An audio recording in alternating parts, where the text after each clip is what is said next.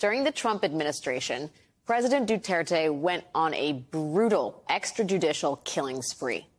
He ordered the murder of thousands of people he claimed were suspected drug dealers without any trial, without any due process. Duterte was right in the middle of that campaign of bloodshed when President Trump praised Duterte for what Trump said was an unbelievable job on the drug problem. So, yeah. But Trump gave Duterte more than just praise. He also gave him highly sensitive information about U.S. nuclear submarines off the coast of the Korean Peninsula. According to a transcript of a call between Trump and Duterte in April of 2017, the two leaders were discussing the North Korean nuclear threat when Trump told the Filipino strongman about two active nuclear subs stationed near North Korea. We have two submarines, the best in the world. We have two nuclear submarines. Not that we want to use them at all. I've never seen anything like they are, but we, we don't have to use this. But Kim Jong un could be crazy, so we will see what happens. According to BuzzFeed News, defense officials were livid about Trump's disclosure, saying, quite plainly, we never talk about subs. That was the first time we learned that Trump had spilled secrets about nuclear submarines, but it was hardly an isolated incident. That same year, Trump held a high level meeting to discuss a North Korean missile launch, not in the Situation Room at the White House, but on the outdoor dining terrace at Mar a Lago. Trump was dining with the Japanese prime minister when he got the news of the missile launch, and the club was filled with random people who do not have security clearances. And instead of going somewhere private to discuss the missile launch, Trump decided to take the classified briefing with dessert. A Mar-a-Lago club member even posted photos of this classified briefing to Facebook with the caption, wow, center of the action. Yep. That same year, Trump hosted the Russian ambassador and the foreign minister at the White House, which would have been controversial enough on its own had we not later learned that President Trump also divulged highly classified information to those two Russian officials as well. Also that year, Trump went on Fox News and appeared to disclose classified information about a previously unknown CIA data breach with the CIA. I just want people to know the CIA was hacked and a lot of things taken. That was during the Obama years. That was not during us. That was during the Obama situation. All of that, all of that took place during Trump's very first year in office. That, that stuff alone was year one. It did not end there. There was a time Trump tweeted a classified drone photo of an Iranian space facility. There was a time he sat down for an interview with journalist Bob Woodward and ended up revealing the existence of a secret U.S. nuclear program. And there was the now infamous moment when Trump allegedly waved around classified Iran war plans in front of Mark Meadows' biographer while demanding that someone bring him a Coke. And now, today, the New York Times and ABC News are reporting on yet another instance of Trump giving away America's secrets. According to these new reports, after he left office, Trump gave away yet more classified information about America's nuclear subs, this time to an Australian billionaire. The billionaire is a man named Anthony Pratt, who runs one of the world's largest cardboard companies and is a club member at Mar-a-Lago. According to this new reporting, Trump gave Pratt highly sensitive information that could endanger the U.S. nuclear fleet, including the supposed exact number of nuclear warheads U.S. submarines routinely carry and exactly how close they supposedly can get to a Russian submarine without being detected. According to sources who spoke with ABC News, that Australian billionaire then described Trump's remarks to at least 45 others, including six journalists, 11 of his company's employees, 10 Australian officials, and three former Australian prime ministers. So not, not a discreet person, this cardboard mogul.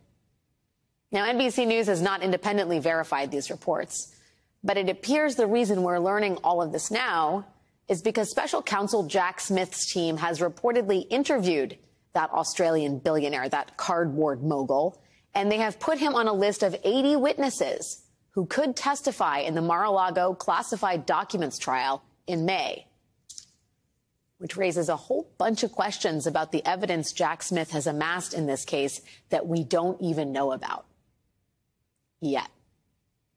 Joining me now is former U.S. Attorney for the Eastern District of Michigan, Barb McQuade, who also co-hosts the Sisters in Law podcast, and Devlin Barrett, justice reporter for the Washington Post and co-author of the Trump Trials newsletter.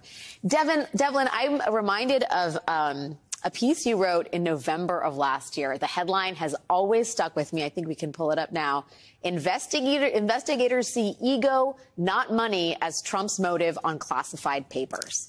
I thought of that headline when we learned this news about Trump bragging about nuclear submarines and divulging secret information to ran, random cardboard moguls. How do you see this behavior dovetailing with your thesis?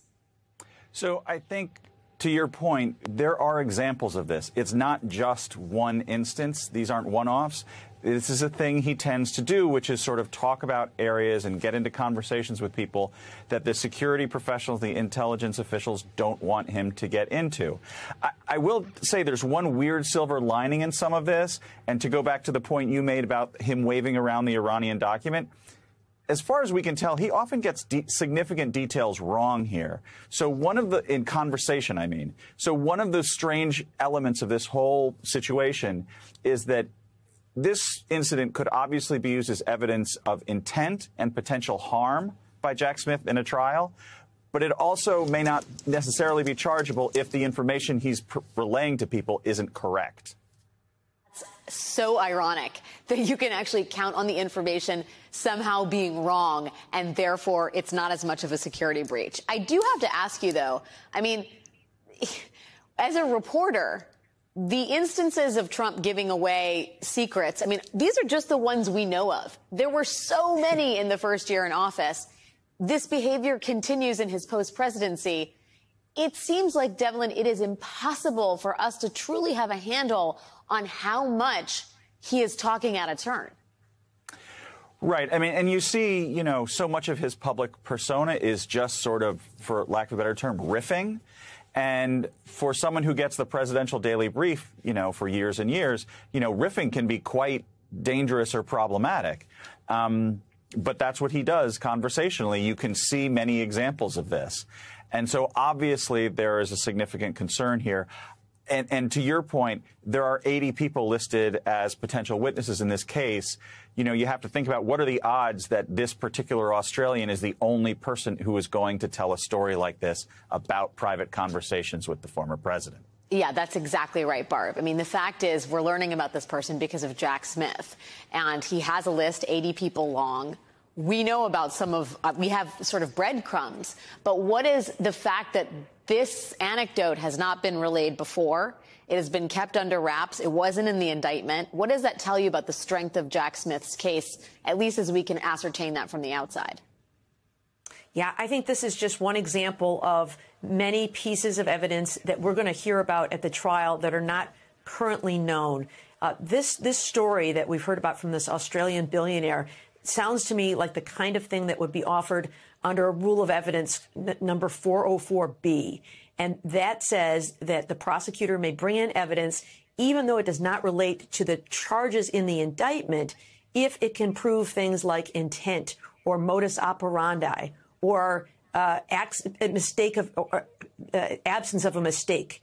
And so for that purpose, it could be that they want to hear this story from this Australian billionaire and maybe others about the way Donald Trump would be very reckless in handling classified information, because that would tend to prove that he was very reckless in handling the documents with which he is charged.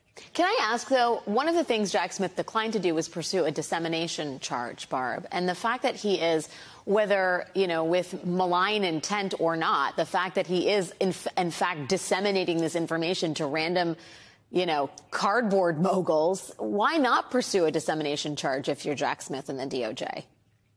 Yeah, so, you know, prosecutors have to think about number one, can I file this charge and prevail? And number two, should I file this charge? And so it is absolutely a crime to verbally disclose classified information. And we don't know all the reasons, but I can tell you some, some things that could be at play here. Number one, uh, when there is an oral communication, it is much more difficult to prove because you have to prove that what the Australian billionaire heard is accurate, that he is reporting it accurately, and that it was in fact classified. And so it may be that Donald Trump was making it up. Maybe he was puffing. Maybe he got the facts wrong, as we heard here.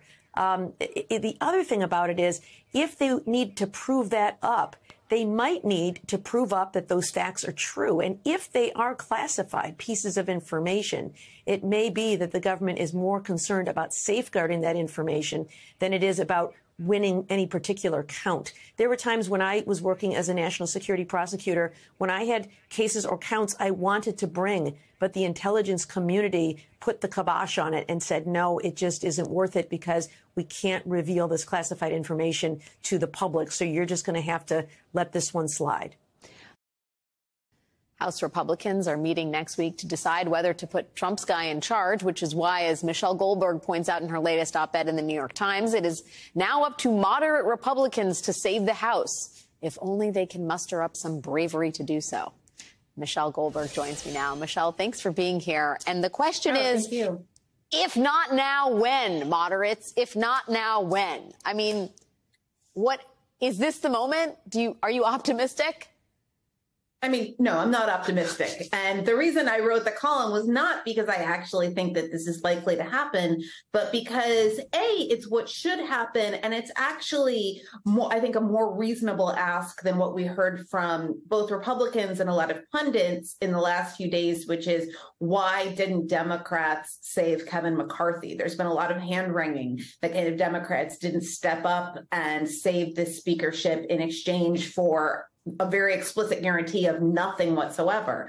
You know, re- Republicans, moderate Republicans, which is a relative term, wouldn't even have to vote for Jeffries, right? I think that if you had moderate Republicans come up with some sort of, you know, relatively moderate candidate, they could make a deal with Democrats and they would sort of be in the catbird seat, right? All they need to do, they, we're not, you know, they, they don't have to do, they don't have to vote for someone from another party. They don't have to vote for someone who disagrees with them on all the major issues. In fact, what they could do is find someone who basically is one of them and elevate them. But again, I don't hold out that much hope of them having the courage to exert the same sort of political power that kind of Gaetz and his faction have tried to exert or have exerted. Do you think it's a purely a matter of the terror that would be inflicted upon them by the far right MAGA base of the House Republican Conference? Because politically speaking, they're on pretty solid ground, right? I mean, if you're a moderate Republican looking for a more consensus candidate, you're going to have Democratic support in the House. There are a lot of moderates in the House. And like when you go back to your Joe Biden dominated swing district, it probably works out well for you. So is it just yes. the threat of the, the tweets and the Fox News hits? I don't know what it is besides just kind of pure cowardice and kind of a milk toast orientation to politics. But you're absolutely right that these, you know, you have a bunch of Republicans, not a bunch, but a fair number of Republicans, certainly enough to swing the House, that come from districts that voted for Joe Biden, you know, sometimes by double digits. And so they are not going to presumably want to be going into 2024 with a House led by this you know, kind of pit bull for Trump figure, Jim Jordan. But I mean, yeah, that's what's so, I think, but this has been something that's been confounding throughout the Trump years is the inability of people to stand up to them, even when it's in their own evident political interest. Today, a New York appeals court rejected Donald Trump's latest attempt to delay his civil fraud trial, allowing it to continue full steam ahead next week. And now that we have wrapped week one of this trial, we have some riveting new details courtesy of Trump Organization comptroller Jeff McConney, who took the stand and admitted that the valuations of Trump's properties were fraudulent not by accident, but by design. Now, we have known for a while now that Trump was allegedly inflating the value of his apartments and his golf courses and so forth. Attorney General Letitia James presented that evidence to the judge in this trial, who has already found the Trump Organization guilty of fraud. But today we were given a detailed look at the extent to which the Trump's business to which Trump's business hyped the value of his properties, and it is staggering deceit. Take Mar-a-Lago. Last week, Judge Engoron ruled that the Trump that Trump had inflated the value of his beach club by a whopping 2,300 percent. According to Trump's financial documents, Mar-a-Lago was worth between 426 million and 612 million dollars, all based on the premises uh, on the premise that it could be sold as a private residence. Now, today we learned that that was a complete farce, and that is because the deed for Mar-a-Lago clearly states it can only be used as a social club. And if Trump can't sell Mar-a-Lago as a private residence, then it would likely be worth a whole lot less to the tune of 18 to 27.6 million, according to Palm Beach County's appraisal. And then there is Trump's iconic Rococo apartment in Trump Tower. Yesterday, prosecutors asked McConney about the value of that very shiny penthouse, which at one point was, according to Trump, worth $180 million. And yet, a similar Manhattan apartment with extras, including a waterfront view, and which was allegedly owned by a foreign royal, that similar apartment was more than $100 million cheaper than what Trump valued his at. Now, Mr. McConney, the Trump Organization comptroller, claimed his $180 million estimate was based on square footage and that Trump's blindingly gold apartment was so expensive because it was 30,000 square feet. But that estimate, according to the judge in this case, is also an obvious lie. Trump's triplex is really around 10,000 square feet, which is, by the way, thousands of feet smaller than the similar apartment worth $100 million less. Joining me now is Christy Greenberg, former federal prosecutor and former deputy chief for the criminal division of the Southern District of New York. Christy, thanks for joining me here. I mean, there is like exaggeration and then there's just bold faced lying. Were you surprised by the, the audacity of these inflations? Well, this was laid out, a lot of this was laid out in the judge's order last week. And it's interesting because there the judge said, look, I, this is a documents case on that one count on just the perpetual fraud. I, it's a documents case. This is plainly false, just given the magnitude of, of these numbers and how different they are. This is egregious. And you used these documents in business, so therefore you know, you're, you're liable for that other count. But now we're getting into at the trial other counts, insurance fraud, falsified business records, falsified financial statements. And there you have to show intent to defraud yeah. and that these are materially false statements that somebody, whether it's a lender or insurer, would have relied on them to give them favorable terms.